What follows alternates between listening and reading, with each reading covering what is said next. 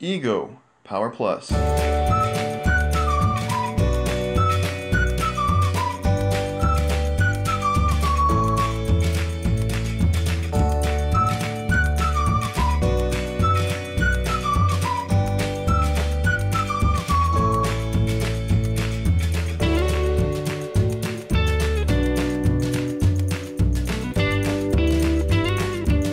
Good for you. Them. Alright, today we're going to play around with the Ego chainsaw. Actually, we're just going to do a little bit of maintenance on it. Alright, and, and the maintenance is really easy. Uh, now, if you've seen my, my other videos for this, um, you'll know I've already done some safety videos because with chainsaws, I cannot stress safety more than anything. There was an ice storm in 07 here, and you know people were buying chainsaws and right to clear out the yards. Trees fell down left. It looked like a war zone. Okay, but both hospitals had to open up additional ERs and flood ER patients into the additional units because there were so many chainsaw injuries. I think the average chainsaw injury requires like 115 stitches or something like that. You can Google that. Uh, crazy, okay? Please, please, please. So check out those videos there. Let's talk about just some standard maintenance, okay? Maintenance on this is, for the most part, very similar to that of other chainsaws. So let's get in here a little bit closer so we can see that.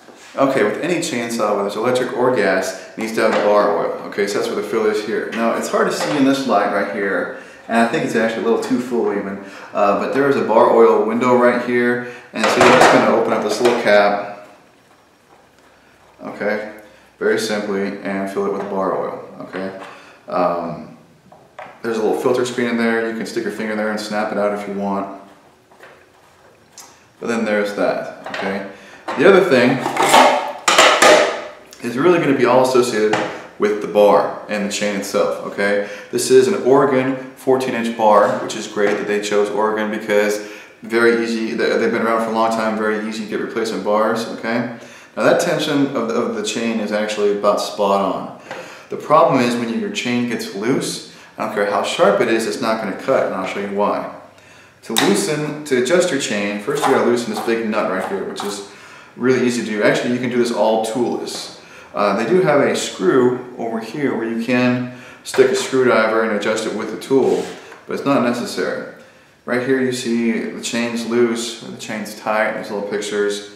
Maybe you can't see it so well, but anyways, let's back this off. All right, now see, check that out. chain is loose. So to kind of exaggerate the, the idea a little bit, when you cut, if your chain is loose, it doesn't sit in the bar. It ends up rolling out of the bar and sliding next to it.